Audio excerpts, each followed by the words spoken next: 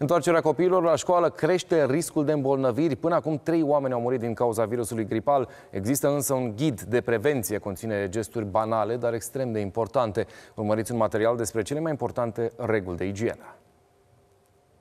Prima regulă, spălatul pe mâini. Indiferent ce vom face după, fie că suntem acasă, la restaurant ori la serviciu, trebuie să ne spălăm periodic pe mâini cu apă caldă și săpun. Ne frecăm de 5 ori pe fiecare dintre suprafețe, degetele mari, vârfurile degetelor și încheieturile și după aceea să ne plătim uh, foarte bine.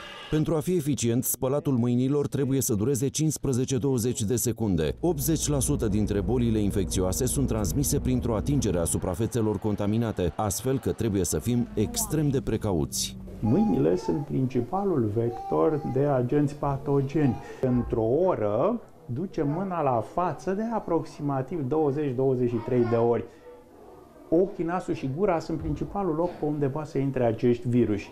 Regula 2. Purtăm mască de protecție indiferent de vârstă. Pentru persoanele bolnave e obligatorie. În spațiile înguste și aglomerate, cum sunt sălile de așteptare ori cele de clasă, masca ne ajută să reducem semnificativ răspândirea virusului la persoanele sănătoase. Ea trebuie așezată după forma nasului, pentru că dacă strănutăm și tușim, ne trimitem pe deasupra uh, germenii patogeni. Ar trebui uh, purtată și schimbată frecvent. Dacă ea s-a umezit, vag, trebuie aruncată și înlocuită. Regula cu numărul 3. Nu tușim și nu strănutăm în palmă ori liber. Dacă facem asta, împrăștiem virusul. Așa ar trebui să tușim, nu așa, pentru că mâna o să o punem pe suprafețe, pe butoane, pe clanțe și cineva care vine după noi se poate îmbolnăvi. Fiți precauți și fără să faceți o obsesie din asta. Curățați-vă obiectele personale, cum ar fi telefonul, geanta, laptopul și biroul.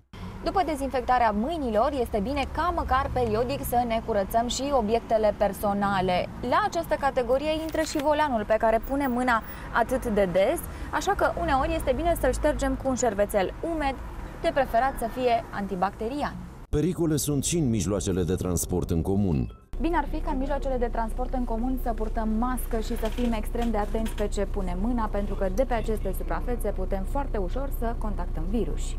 Mască ori dacă nu, eu în orice caz acasă am un tub mare de dezinfectat la ușă și te dezinfectezi înainte să intri în casă. Pe aici suie toți oamenii, merg toți oamenii, dar e riscant să pui mâna pe, mai ales când ai un bebeluș acasă. Toate aceste reguli nu omoară virusul, dar creează o barieră în calea infecției. În cazul în care v-ați îmbolnăvit, dincolo de tratamentul prescris, musai de doctor, mare grijă să nu dați și altora, așa că cel mai bine este să rămâneți izolați la domiciliu.